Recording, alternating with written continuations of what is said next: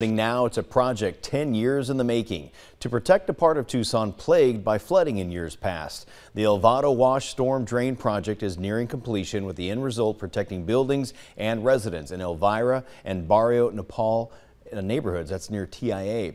Now this is video from severe flooding that hit the area in the summer of 2014.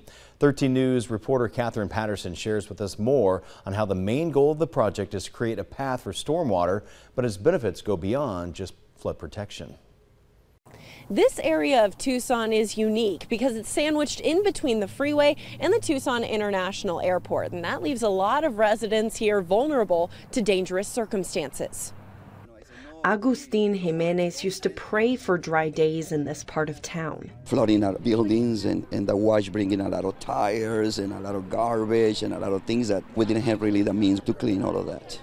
But now he celebrates the rain. The El Vado Wash Storm Drain Project has created a new path for that storm water and using it to provide needed water to desert plants. I think we've been fed a story that having green grass and trees that don't do well with drought is what's ideal, but we live in the desert and we should embrace it. Now, one of the things that makes this park so unique are plants like these. Now, this is a fig tree, and once the fruits are ready, community members are welcome and even encouraged to pick them you need some oregano to cook. Yeah, sure, you can go to your neighbor's house, but maybe now you can just come across the street and pick it yourself.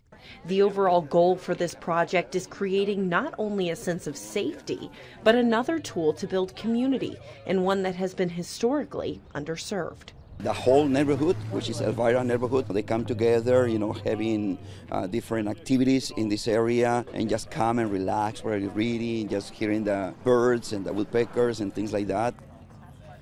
Now, community leaders tell me that they're excited about this new maintenance plan that they've made to make sure that residents can enjoy the beauty now and in the future. Reporting in Tucson, Catherine Patterson, 13 News.